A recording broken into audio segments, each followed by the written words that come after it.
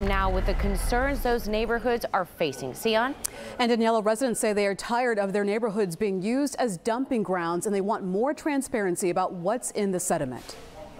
And the dredge material waste sites here just keep getting higher and higher every year. This map shows the dredge material waste sites that sit in the Pleasantville and Galena Park communities. Brown indicates active sediment dumps. Purple shows sites set to be reopened.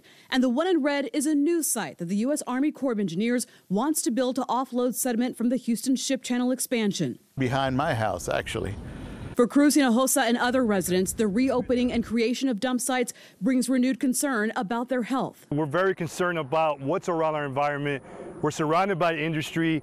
We got the dredge sites up here. They're about to get bigger. We just want to make sure that that everything is tested so we can eliminate some of the burdens we have in Galena Park. We're pushing it. We're, we're pushing for solutions um, and for action, specifically from the Army Corps right now. Erandi Trevino is with Public Citizen, a watchdog group calling for the Army Corps of Engineers to place the potentially toxic sediment away from neighborhoods inevitably that material is going to include you know a mixture of the chemicals that you see all around the ship channel, which include ca- cancer causing chemicals such as benzene. Mm-hmm. We can no longer pretend like it's a coincidence that our, our communities are the ones that are being sacrificed.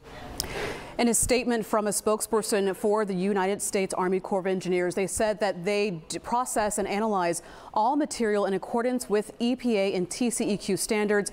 They say we've always done it with a high degree of expertise and care. All sample material here is in compliance with the Clean Water Act criteria. They add that they are working with the community. They will listen to their concerns. Live in the newsroom, Sion Rhodes, KPRC 2 News.